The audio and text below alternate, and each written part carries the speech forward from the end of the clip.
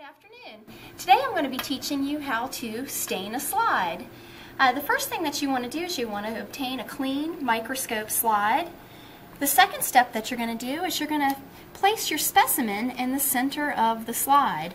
Today what we're going to be doing is we're going to be making onion cell slides and staining the cells in onion. So what I want to do is get a very thin piece of onion skin and once I get that thin piece of onion skin, I want to place it onto my slide and try to get it on there as, as flat as I possibly can. Alright, our next step after we get our specimen placed on the slide is to add a couple of drops of stain.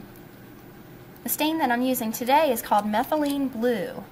And what it's going to do is it's going to stain all the organelles in the onion skin here. I'm going to place a couple of drops onto my onion skin.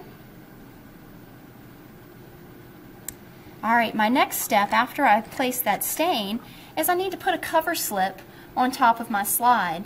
Now this is a tricky part because we don't want to just put the slide or the cover slip on straight up and down. We want to come down at a 45 degree angle and that's going to eliminate some of the air bubbles that you might get. Alright, once you do that step, you're going to tap on the top just a little bit to try to get some of that stain inside the slide.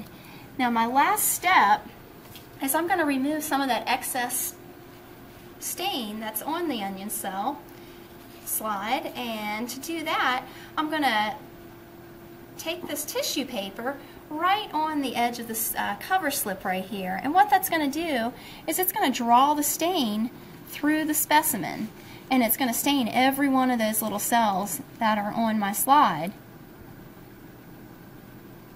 And this part, um, sometimes you do get some stain on your fingers, but that's not such a bad thing. It just shows you've been doing some, some biology. And I'm just going to clean up this side of the slide.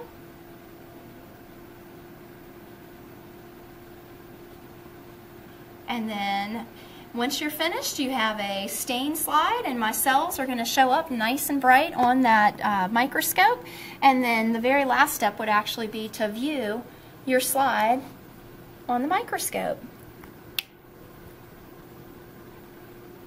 And it looks great. I've got a lot of nice darkly stained cells on my slide. Thank you.